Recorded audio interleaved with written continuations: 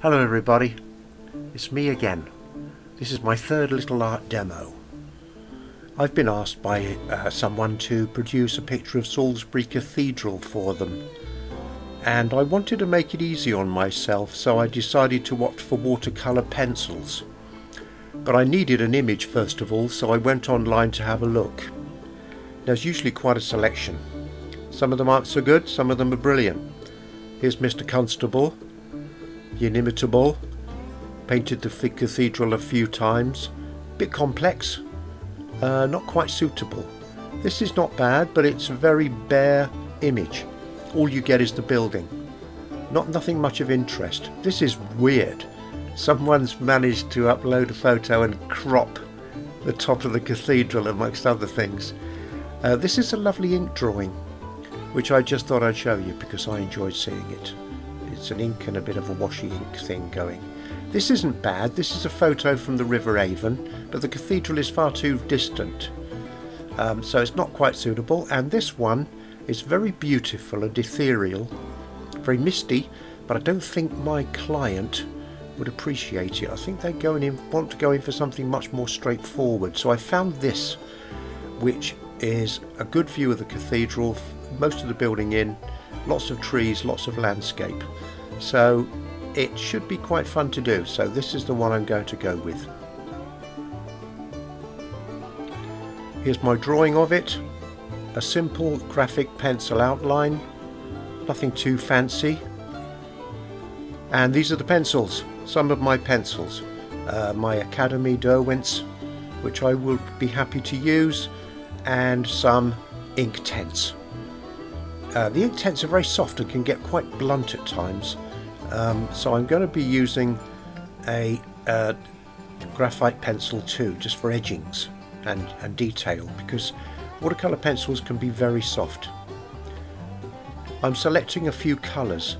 I want those stone colours, oranges, earthy browns, etc. And I'm just finding some. Probably a few need sharpening. They, they do get blunt very quickly. So here we go. These are some colours I'm going to use. And let's start. I'm going to start on the building at the top get a little bit of colour into it. The picture I showed you that I'm working from, I won't um, slavishly work with the colours. When you work from a photo of an image like Salisbury Cathedral, because nobody in their right mind could make up Salisbury Cathedral, you need an image to guide you along, give you information. But you don't have to be a slave to the colours or even the composition. So you can alter it. You can make changes where you like. Uh, you could do quite a surreal colour range of colours if you wanted to. Or even stick to one colour. It's your it's the options. You have all those options. Don't forget to use them. takes time to colour in like this, takes time to do any work really. So I hope you don't get too bored watching this.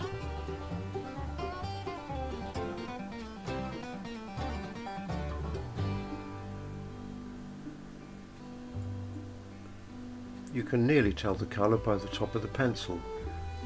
This is a dark blue. I'm just kind of etching in some detail in the tower.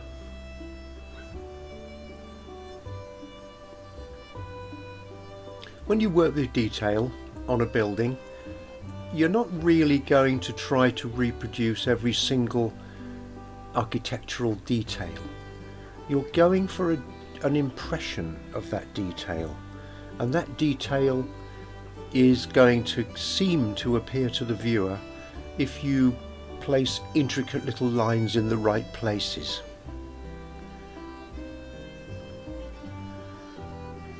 So it's a fairly slow job, but it's quite relaxing. It's quite nice to get into. Try not to use one colour overall try to use the colours piecemeal, particularly watercolours or watercolour pencils, you don't want to be masking everything with one colour just to find that the other colours don't have their own little spaces.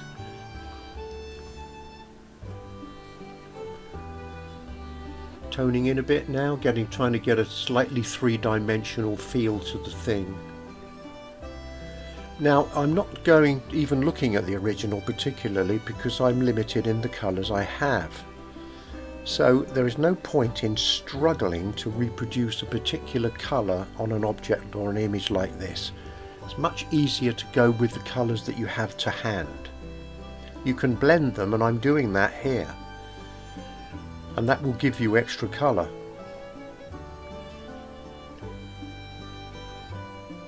I hope you can see what I'm up to. It's a very small image.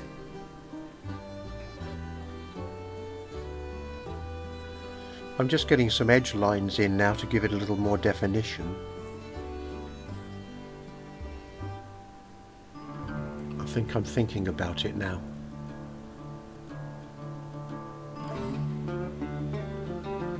Yes, there we go. Some of the windows in the tower coming.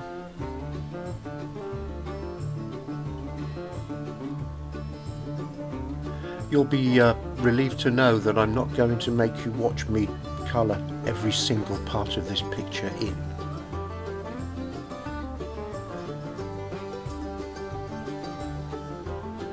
There are little spaces for the white in the picture where the building is picking up the light, the sun on the reflecting on the stone. You don't want to lose these. You don't want to fill the whole surface of the tower in with full colour. It's best to leave a few little spaces. It gives you an extra dimension to the picture. It gives you little white touches which are really nice to have on something picking up the light. There we go, it's taking shape. The drawing is getting filled in gradually. Looks like I'm thinking again or I'm dozing off. No, I'm not. It's much too interesting to do that.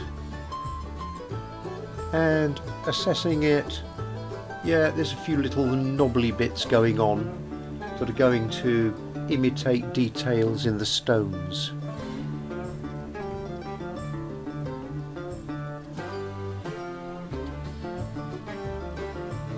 The tower is getting to feel like a solid object in space now.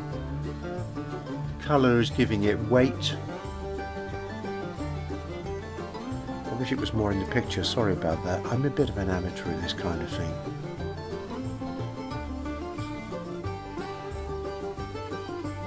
Uh, probably by this point it had already occurred to me that I wasn't going to be using water on these colour pencils. Again, I don't very often because I find that if I'm using them in such a confined image space, that the water would simply wash away the detail and once the brush picks up the pigment everything gets extremely dark and thick.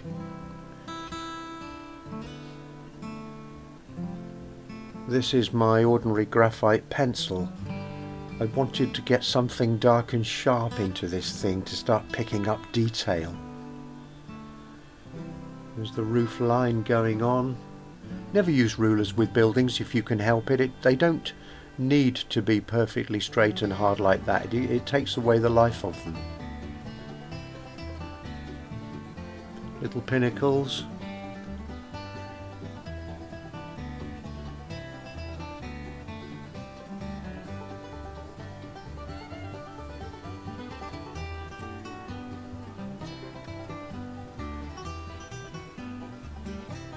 Okay, that's a lot of the building that is visible done. Um, there's a lot of foliage in this picture and I don't want to be using there we go I'm going at the angle of the roof I'm drawing it in at the angle of the tiles will run on the roof remember that those little touches can help uh, with the illusion of that you've paid attention and there's a certain reality in the building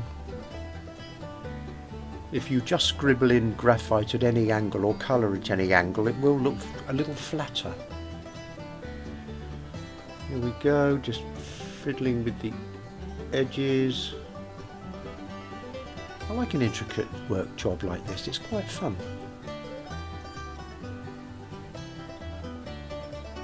Try not to get bored at this stage. Try to keep as much interest and detail going as you can all the time. If you have to take a break, do so, but don't want it done and start to uh, get a little bit uh, restless with the uh, application because it'll you'll simplify it and you'll lose the edge. Two or three colours coming in. It will be a relief to get to have a go at that foliage, have a go at those trees. When you paint or draw the trees, paint the trees in with the watercolour pencils. You don't want the same colours all the way through, but you don't want them to vary so much that it looks like a rainbow of colours. You want the greens to be similar. Unfortunately, three out of four of the greens I've got here are pretty garish. They're a little bit Disney and I'm going to have to mute them with other colours like browns or blues to, to, to numb them a bit because that green is already screaming out from the middle of the picture. So I'm going to mute it. Make it more natural. That's better. That's taken away the glare.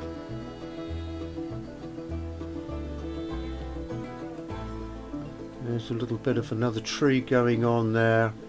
And remember, you can put your foliage in with the colours. You can give just the chance of the tree to look fairly interesting and realistical by scudding around, scudding around with pencil to give the impression that there's leaves there, rather than it's all just flat.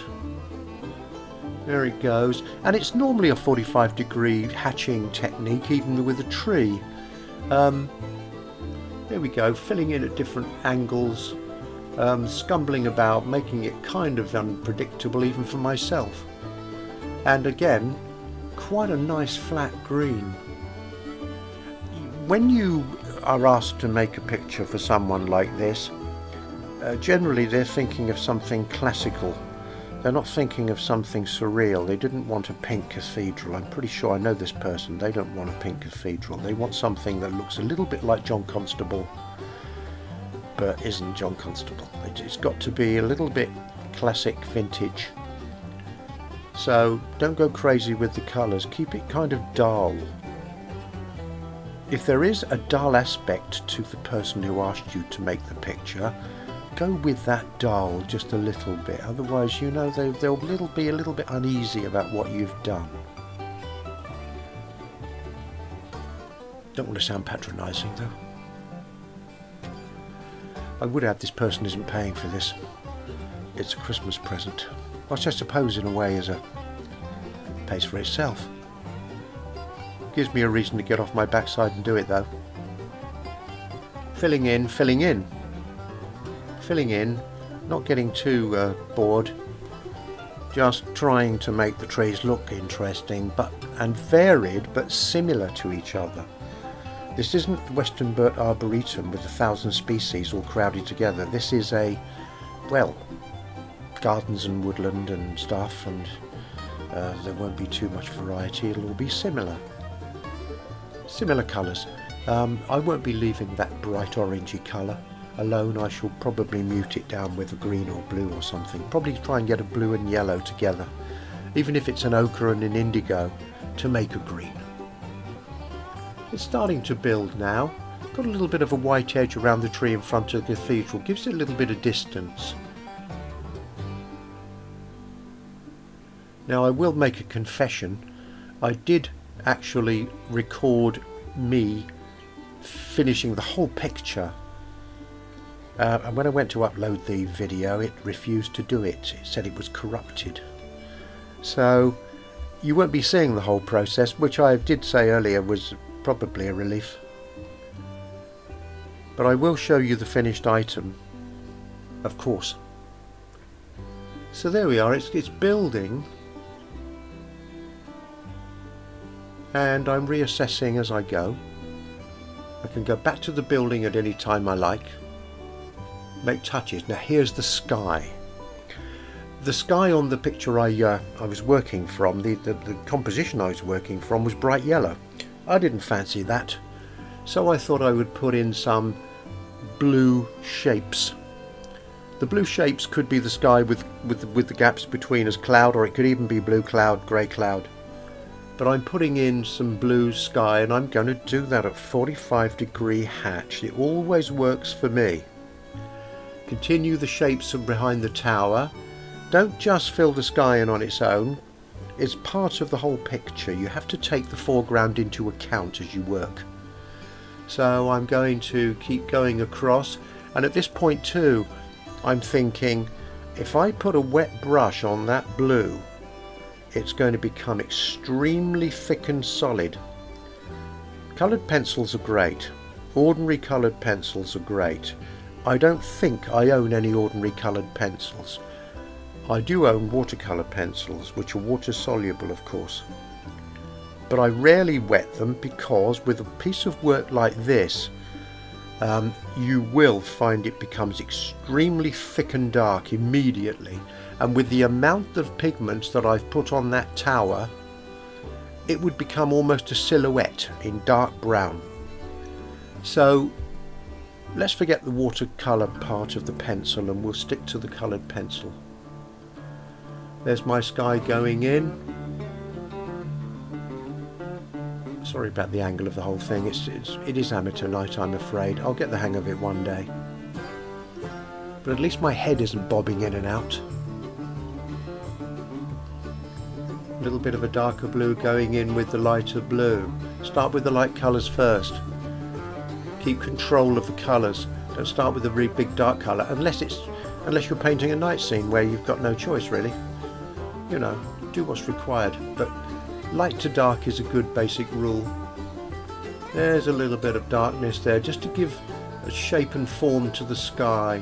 That's looking quite nice now.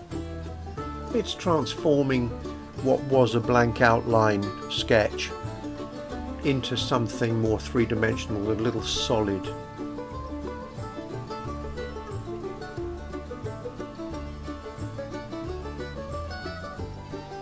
We quite nice to do, quite fun to do, quite satisfying to do. Could always come back to it if I think it needs some extra touches. Remember those little touches, the detail, the delicacy, the precision, that's what uh, goes a long way in art, you know.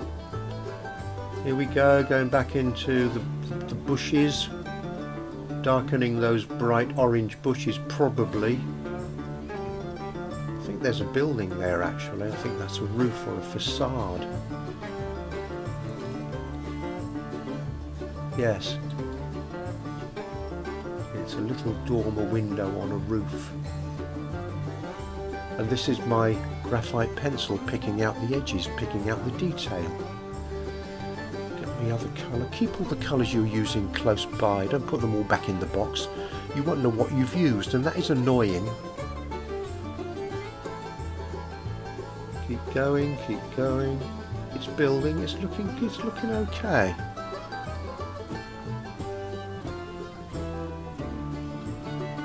It's always in the back of your mind somewhere that the person who is going to receive this work uh, doesn't have a clue how you did it and they couldn't do it if they tried. Uh, it's not arrogant, it's just a fact. Uh, you don't go and pay to see people play uh, an instrument that you can play better, do you? So why would you ask someone to paint a picture you knew couldn't do it as well as you do? So you do your best job you can. You always want to impress everybody, whoever they are, you know, with the effort you've made on their behalf. There's some trees going in, more trees in the background. Yeah, a little bit of foreground now. There's a yellow frontage, there's some yellow grass on the river bank. And you'll be relieved to know we're getting close to the end of this demo. Um, it is a little bit like watching someone drink whiskey or paint dry or something. Yeah, there we go. And again, be careful. You don't want the colours to remain so bright and bold that they look garish and childish. It takes away from the from the quality of the work. Filling in, filling in, choosing the different tones and colours I can use in the foliage, in the, in the trees. Yep, thinking about it. Okay, so this was where I uh, had a little break I think. And then look I've straightened it a bit. Now we're going to look at the work after it's done. There it is. There it is. It's coming. That's not too bad. That's not too bad um, I've got some red on the left hand side. That's probably a little bit over the top. The trees over on the right hand side which are almost black look very nice. Uh, they give it depth and darkness. I might have to do that over on the left hand side to balance the work a bit. Um, you know you want your eye goes to the right hand side to that lovely dark corner. And it should be more more on the tower and the building. Um, so I might balance that up with some more dark greens and blacky browny dark blues um, as a background. But generally I'm fairly pleased with it. The water remember has always got to be horizontal. And that's about it. I hope that was of some interest or even some help to you. Um, I was quite pleased with the finished result. Um, let's get it in the envelope and get it to the customer. Um, but it was quite fun to do. And I'm fairly happy so uh, thank you for watching and have a go at it yourself. I'll pop the image out to you and perhaps you could give it your own uh, treatment. That would be nice and then you could share it with me and I could enjoy seeing it all over again. But this time all the work done by someone else. Oh yes lovely. Okay then. Stay safe stay sane and remember I'm here if there's any art you wish to unload on any human I just love to see it. I just can't get enough. So please be in touch and uh, bye for now